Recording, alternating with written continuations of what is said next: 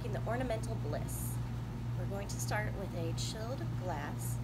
You're wetting the rim. Next we will rim the glass with cinnamon and sugar. We will add one ounce of rum chata. RumChata. RumChata is a creamy cinnamon rum. So, one and two. Then you're gonna add your choice of cinnamon whiskey. This will also be one ounce. One and two. Now top with half and half. And we will next shake.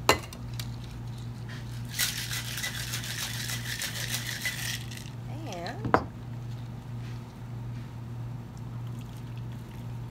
pour into the glass. And then add one cinnamon stick. Enjoy.